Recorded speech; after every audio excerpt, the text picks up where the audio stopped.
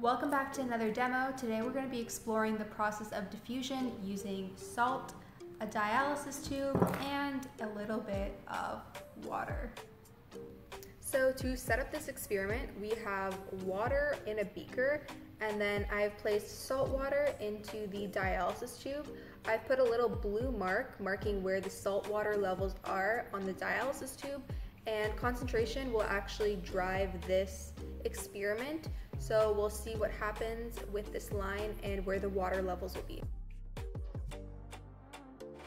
So now that we've let the solution sit for a couple of minutes, we're gonna remove the dialysis tube and we're gonna see that the original blue line, the water levels have now surpassed it and I'm gonna explain why this happened in the next clip. With this time lapse, you see the increasing water levels on the inside of the dialysis tube. The water wants to go into the tube as it moves from high concentration outside to low concentration inside, and this is actually the definition of diffusion, as diffusion is the movement of a substance from high to low concentration, and it can happen in liquids and gases due to the arrangement of their particles. So for this experiment, we are using Membra-Cel dialysis tubes and they are made out of regenerated cellulose. Much like your cell membrane, they are semi-permeable and this means that only certain particles can move in and out through the cell membrane.